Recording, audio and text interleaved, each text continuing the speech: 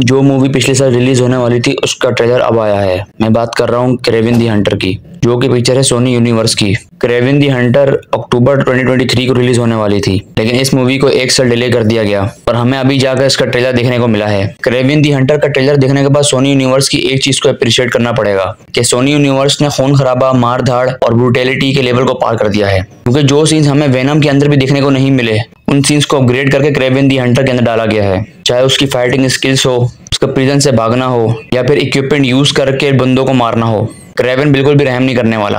और जो कि इन्होंने मूवी को टाइटल दिया है क्रेविन दी हंटर तो इस ट्रेलर को देखने के बाद वाकई में हंट वाली फील आ रही है कि किस तरह से एक हंटर हंट करता है। क्रेविन दी हंटर एक्चुअली में कॉमिक्स के अंदर स्पाइडरमैन का एक मशहूर विलन है।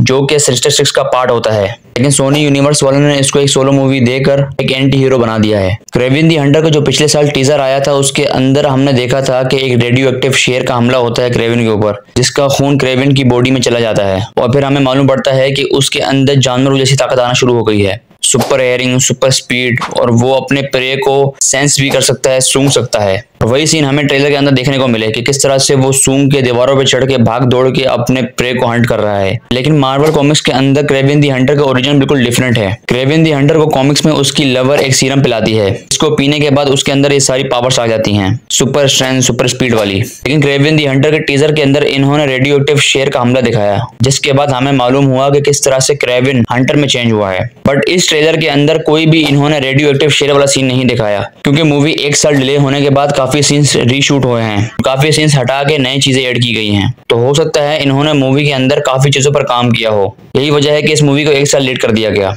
इधर देखने के बाद हमें ये चीज़ समझ में आ रही है कि ये मूवी एक्चुअली बाप बेटे के बीच में होने वाली है। क्रेविन दी हंटर के जो फादर हैं, वो एक तरह से माफिया को होल्ड करते हैं।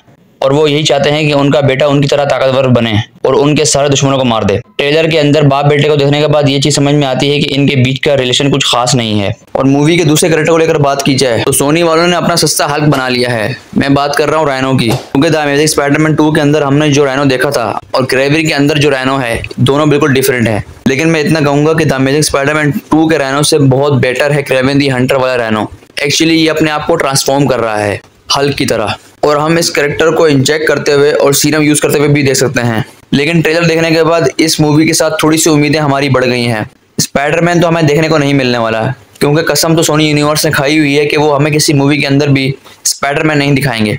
लेकिन जो चीज़ इस मूवी को बचा सकती है और अच्छा कमा के दे सकती है, वो है इस मूवी की स्टोरी लाइन प्लस इसका आर रेटेड एक्शन क्योंकि खून खराबा देखने के लिए मैं बेताब हूँ।